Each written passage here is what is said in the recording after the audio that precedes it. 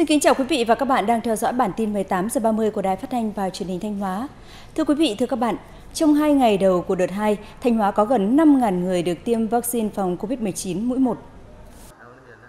Trong 2 ngày 16 và 17 tháng 6, Thanh Hóa đã tổ chức 13 điểm tiêm tại các huyện, thị xã, thành phố, tiếp tục mở rộng tiêm phòng COVID-19 mũi 1 cho lực lượng tuyến đầu phòng chống dịch. Trong số gần 5.000 người đã tiêm, chưa ghi nhận trường hợp có biểu hiện sức khỏe bất thường. Các phản ứng thông thường sau tiêm chủng thường gặp là sốt, ớn lạnh, đau đầu, đau chỗ tiêm, đau mỏi người, mệt mỏi. Thanh Hóa phấn đấu đến ngày 20 tháng 6 năm 2021 cơ bản hoàn thành kế hoạch tiêm vaccine phòng COVID-19 lần 1 đợt 2. Thông tin từ Trung tâm Kiểm soát Bệnh tật tỉnh Thanh Hóa cho biết, sau 2 tuần phong tỏa cách ly do có ca bệnh tái dương tính với virus SARS-CoV-2, ngày mai 19 tháng 6, lực lượng chức năng sẽ dỡ phong tỏa cụm dân cư với 57 hộ dân ở phố Trung Sơn, thị trấn Bút Sơn, huyện Hoàng Hóa. Đến nay, bệnh nhân tái dương tính với virus SARS-CoV-2 2662 ở phố Trung Sơn, thị trấn Bút Sơn, huyện Hoàng Hóa và tất cả các trường hợp F1 đã có kết quả xét nghiệm 3 lần âm tính với SARS-CoV-2. Hiện tại, sức khỏe của tất cả người dân trong khu vực phong tỏa đều bình thường, không sốt, không ho, không có biểu hiện bệnh đường hô hấp và đã có kết quả xét nghiệm 2 lần âm tính với SARS-CoV-2. Trung tâm Kiểm soát Bệnh tật tỉnh Thanh Hóa và Ban chỉ đạo phòng chống dịch COVID-19 huyện Hoàng Hóa thống nhất sẽ kết thúc dỡ bỏ phong tỏa cụm dân cư gồm 57 hộ dân tại phố Trung Sơn, thị trấn Phúc Sơn vào ngày mai 19 tháng 6.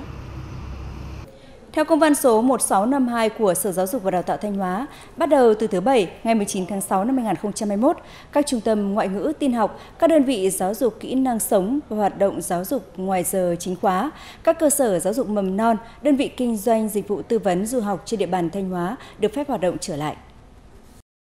Sở Giáo dục và Đào tạo Thanh Hóa yêu cầu các trung tâm ngoại ngữ, tin học, giáo dục kỹ năng sống, tư vấn du học, các cơ sở giáo dục mầm non tiếp tục đề cao cảnh giác, tuyệt đối không lơ là chủ quan trước nguy cơ dịch bệnh, tổ chức thực hiện nghiêm túc các biện pháp phòng chống dịch COVID-19, đặc biệt là thông điệp 5K. Người đứng đầu các trung tâm ngoại ngữ, tin học, giáo dục kỹ năng sống, tư vấn du học, các cơ sở giáo dục mầm non chịu trách nhiệm khi để xảy ra vi phạm các quy định cho công tác phòng chống dịch COVID-19. Đến nay, Thanh Hóa đã thu hút được nhà đầu tư kinh doanh kết cấu hạ tầng tại 33 cụm công nghiệp trên địa bàn tỉnh. Tuy nhiên, nhiều dự án đầu tư hạ tầng cụm công nghiệp lại đang chậm tiến độ. Cụm công nghiệp Bắc Hoàng Hóa được Ủy ban dân tỉnh Thanh Hóa phê duyệt quyết định thành lập vào tháng 4 năm 2017. Theo kế hoạch, hạ tầng của cụm công nghiệp này sẽ hoàn thành đầu tư vào năm 2019. Đến tháng 3 năm 2020, dự án được Ủy ban nhân dân tỉnh đồng ý cho điều chỉnh tiến độ thực hiện – Tuy nhiên đến thời điểm này, dự án vẫn đang trong quá trình san lấp và chủ đầu tư tiếp tục có văn bản xin gia hạn triển khai dự án. Đối với cụm nghiệp Bắc Hóa thì hiện nay về mặt tiến độ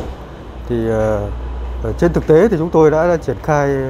về mặt cơ bản là đã triển khai uh, về hồ sơ pháp lý và các cái cái cái cái, cái, cái thủ tục đầu tư liên quan đến cái cái, cái, cái giai đoạn 1 3 hecta thì cơ bản là hoàn thành.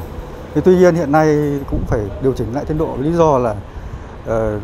liên quan đến công tác đền bù giải phóng mặt bằng của cái giai đoạn 1 là phải, phải tổ chức cưỡng chế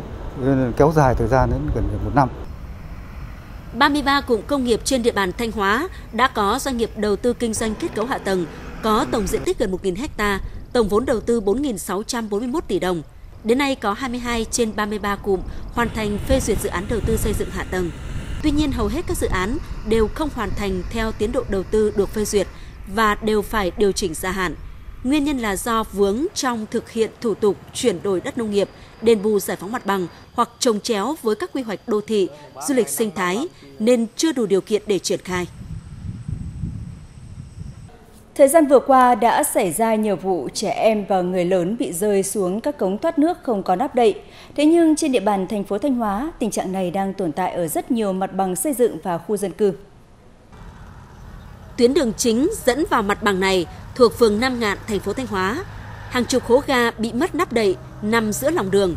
Nhiều hố ga bị mất nắp lâu ngày đã bị cỏ mọc che kín khá nguy hiểm cho người dân. Còn tại khu tái định cư này, chỉ trên một đoạn đường chưa đầy 10 mét, đã có gần chục hố ga không có nắp đậy. Một vài mương thoát nước xây dựng giang dở, sâu đến 1,5 mét, nhưng chỉ được rào chắn hời hợt. Nhân dân chỉ kiến nghị lên coi như là khu vực thôi, chẳng hạn như báo cáo với lại coi là khối phố rồi là lên ờ, ủy ban phường chẳng hạn thế thôi. nội dung là báo cáo như thế nhiều lần trước đây bây giờ cũng nhiều lần cũng chưa làm được từ người ta cũng chán rồi không muốn kiến nghị nữa còn bây giờ cái trước mắt là coi như là các cái khu mà nhà dân ở trước mặt mà có cái nắp cống chưa đậy thì người ta đổ xi măng vào lấp cho an toàn Hố ga, cống thoát nước không có nắp là thực trạng còn tồn tại ở rất nhiều mặt bằng khu dân cư trên địa bàn thành phố Thanh Hóa. Tuy nhiên cho đến nay vẫn chưa được giải quyết triệt để. Vì vậy, cần nghiêm túc xem xét trách nhiệm của những đơn vị quản lý, chủ đầu tư của các mặt bằng dân cư. Từ đó có giải pháp lập rào, biển cảnh báo nguy hiểm, nhất là vào thời điểm xảy ra mưa to. Thông tin từ Đài khí tượng Thủy văn tỉnh Thanh Hóa, do ảnh hưởng của vùng áp thấp nóng phía Tây kết hợp với hiệu ứng phơn nên từ hôm nay 18 tháng 6 đến các ngày 22, 23 tháng 6, khu vực tỉnh Thanh Hóa tiếp tục có nắng nóng và nắng nóng gai gắt, có nơi đặc biệt gai gắt. Nhiệt độ không khí tại Thanh Hóa cao nhất phổ biến từ 38 đến 40 độ C, có nơi trên 40 độ C, độ ẩm không khí 40 đến 50%. Thời gian có nhiệt độ trên 35 độ C kéo dài từ 10 đến 19 giờ. Do nắng nóng kết hợp với độ ẩm trong không khí giảm thấp nên có nhiều nguy cơ xảy ra cháy nổ và hỏa hoạn ở khu vực dân cư do nhu cầu sử dụng điện tăng cao. Ngoài ra, nắng nóng còn có thể gây tình trạng mất nước, kiệt sức, đột quỵ do sốc nhiệt đối với cơ thể người khi tiếp xúc lâu với nền nhiệt độ cao. Cảnh báo cấp độ rủi ro thiên tai do nắng nóng cấp 1. Bản tin 18 giờ 30 xin được tiếp tục với những thông tin trong nước vừa được chúng tôi cập nhật. Lợi dụng sự lo lắng của người dân về dịch bệnh COVID-19, một số đối tượng đã lên mạng xã hội giao bán tràn lan kit test nhanh COVID-19 không rõ nguồn gốc xuất xứ, chưa được các cơ quan chức năng kiểm định, cấp phép lưu hành. Theo Tổng cục Quản lý Thị trường, người dân không nên mua các bộ kit test nhanh COVID-19 chưa được cấp phép về tự xét nghiệm vì không những không phát hiện ra COVID-19 mà còn có nguy cơ phát tán và lây lan dịch bệnh nếu bỏ sót người đã nhiễm bệnh. Nếu dùng sai cách dẫn tới nhận định sai, sinh ra tâm lý lo lắng hoặc chủ quan không đúng về hiện trạng sức khỏe. 6 tháng đầu năm 2021, lực lượng cảnh sát điều tra tội phạm về ma túy trên toàn quốc đã phát hiện 12.421 vụ, bắt giữ 17.710 đối tượng, thu giữ 290 kg heroin, 1,42 tấn ma túy tổng hợp, 840 kg cần sa cùng nhiều phương tiện tài sản có liên quan. Riêng Cục Cảnh sát điều tra tội phạm về ma túy Bộ Công an đã chủ trì phối hợp với các lực lượng chức năng đấu tranh bắt giữ 54 vụ, 155 đối tượng, thu giữ 172 kg heroin, 1,1 tấn ma túy tổng hợp, bắt 10 đối tượng truy nã và hiện đang trực tiếp thụ lý điều tra 30 vụ án, 104 bị can. Phòng Cảnh sát điều tra tội phạm về ma túy Công an tỉnh Điện Biên vừa phá thành công chuyên án 215T, bắt giữ hai đối tượng trong đường dây mua bán vận chuyển trái phép số lượng lớn chất ma túy, thu giữ tăng vật gồm 21 kg ma túy đá và 8 bánh heroin trọng lượng khoảng 2,4 kg. Tại cơ quan công an, các đối tượng Ly A Sà và Vàng A Thào cùng có hộ khẩu thường trú tại bản Háng Lia, xã Keo Lôm, huyện Điện Biên Đông, tỉnh Điện Biên, khai nhận đã mua số ma túy trên tại khu vực biên giới Việt Lào. Khi đang trên đường vận chuyển đi tiêu thụ thì bị lực lượng công an bắt giữ.